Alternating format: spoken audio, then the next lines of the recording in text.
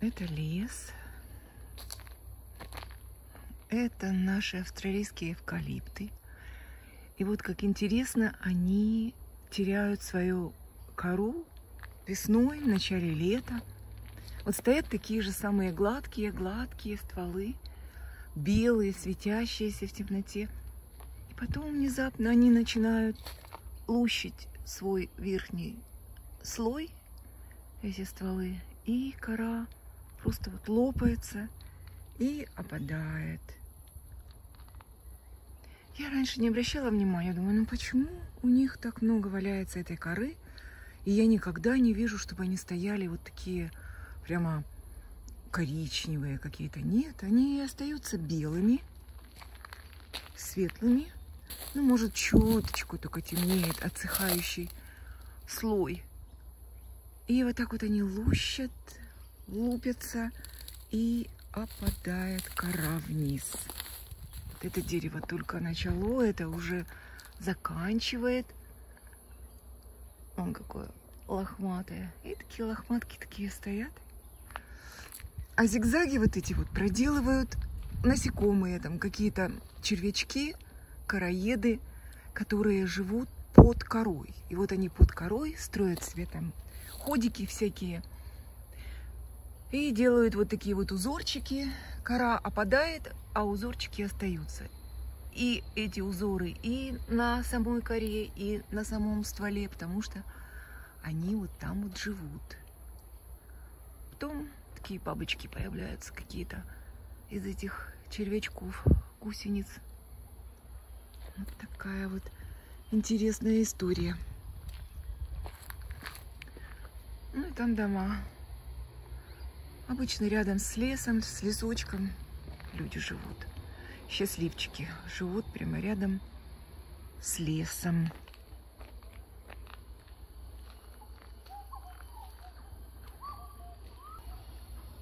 Листья этих деревьев съедобные. Их едят посумы, едят калы. Вот такое съедобное дерево. Вот тут просто у нас такая улица цветущих деревьев, таких джакаранд. И тут джакаранда. И там дальше джакаранда. Очень красивые. А вот какая красивая. Сейчас вот в сумерках она прямо светится таким, фосфорицирует таким сиреневым огнем. Ой. И тут же гаранда. Поменьше немножко. И там дальше тоже дерево. Поменьше. Ну вот это очень красиво. Ну хватит, хватит. Вот та же самая улочка, та же самая мимоза, только не зимой, когда я ее снимала в конце зимы цветущие. Такие весельки на ней, семена. Интересно, будут расти или нет. Надо попробовать.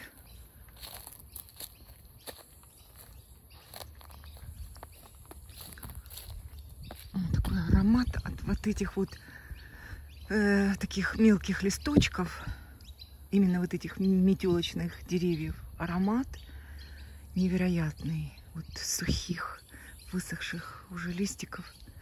А теперь тут дерево такое красное. Цветет. Красивое.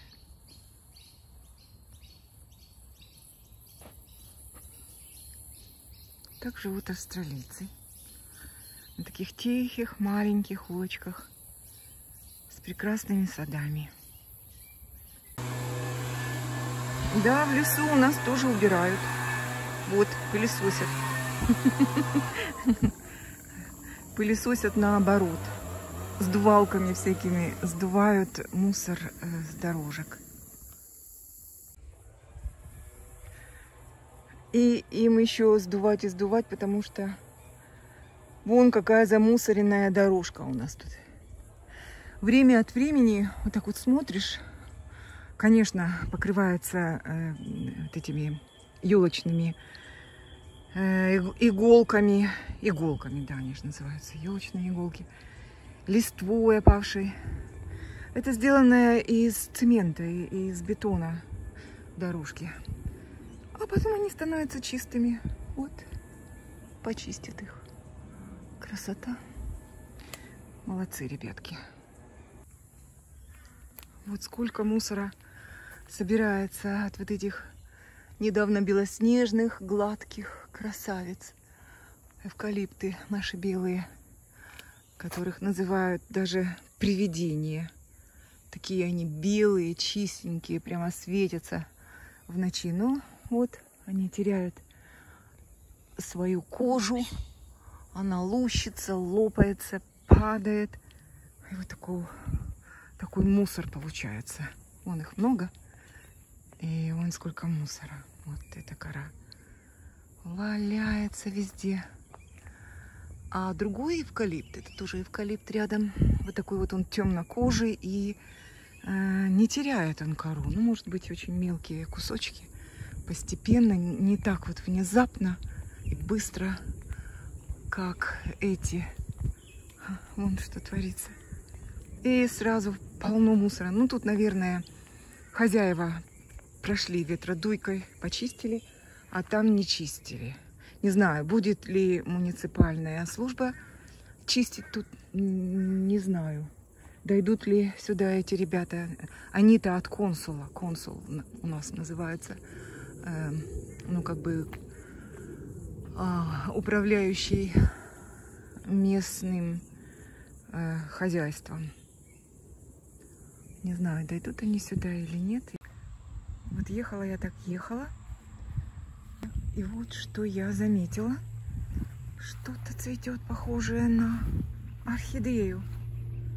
Да, я остановилась. Это точно котлея. Ну, какой-то, наверное, гибрид ладигесия. Вау, какой кустище.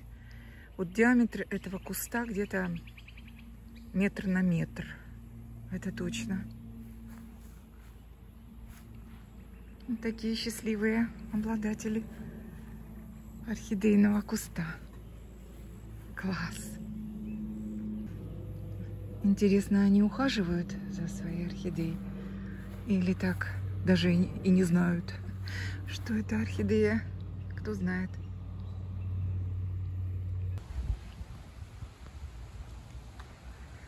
Не поверите, вот иду, иду себе по дороге.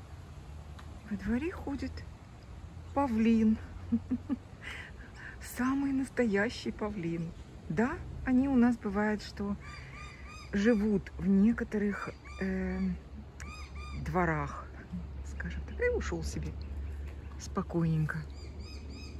Неудобно снимать мне, конечно, э, чужой двор. Ну, вот такая вот тихая улочка. И к нам во двор когда-то пришел павлин, прошелся так. Огромные деревья тут, эвкалипты, конечно. Вот, и эм, я знала, что этот павлин, который к нам пришел, он был э, соседский, там дальше через несколько дворов. Ушел он, все, уже нечего снимать через несколько дворов у людей я знала, что живет павлин, поэтому я знала, откуда он пришел.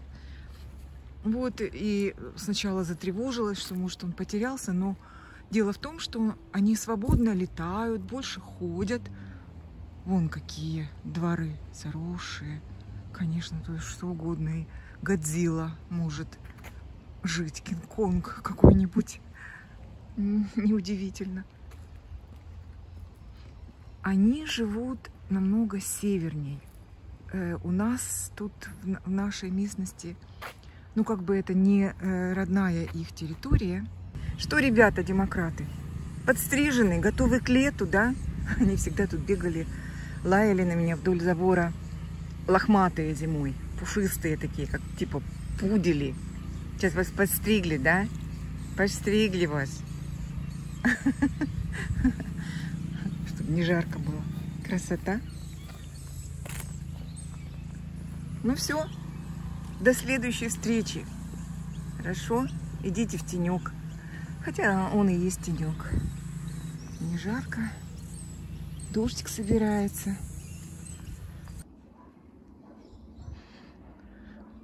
Тут красивый такой кусочек леса. Там вот водичка течет.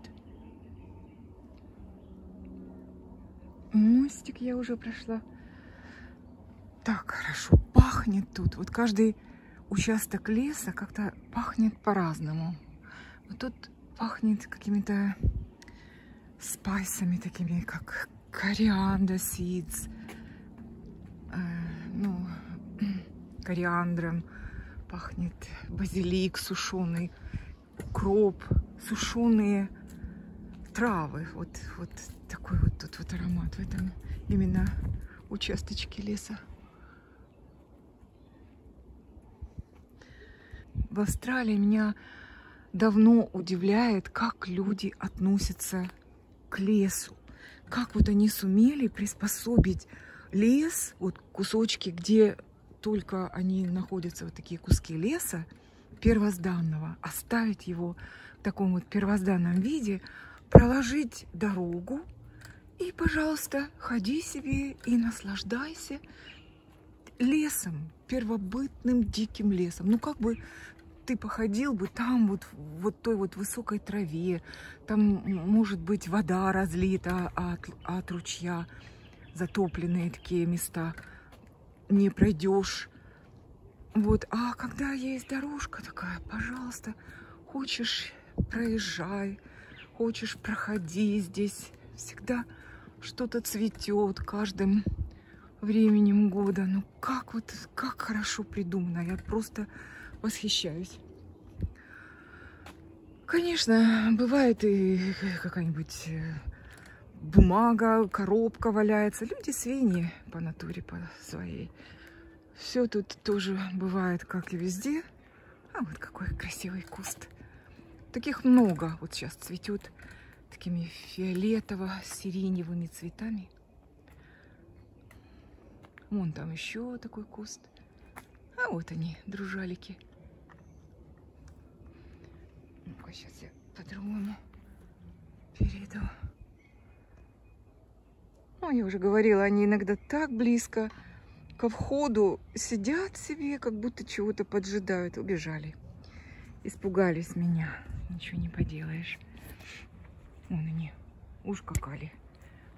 Кенгуришки. Ну, они не настоящие а, огромные кенгуру. Вот эти, которые у нас тут в окрестности живут. А волобис те, что у нас во дворе, они маленькие, они, ну, меньше метра ростом. Малыши. А такие огромные, здоровенные, они там дальше в диких лесах, степях австралийских живут. А эти, ну, прям как будто бы домашние питомцы. Иногда сидят вокруг крылечка где-нибудь у кого-то вот так вот в открытом дворе, где они могут свободно зайти из лесу. Вот чем дело. Если двор огорожен, то кенгуру туда не попадет. Вот как там вот есть огороженный двор. Нет, там кенгуру не будет. Ну, разве что ворота открыты, как у нас, например. Открытые есть... Эм, в заборе проем к соседям, и ворота открыты, и поэтому кенгуру, э, кенгуру спокойно себе там ходят, переходят с одного двора у нас в другой двор, и это нормально для них. Вот, а что я хотела сказать, что кенгуру трудно чем-то угостить, они убегают. Я пыталась их э, кормить хлебом, они убегают, просто убегают, глупые такие ничего не получается.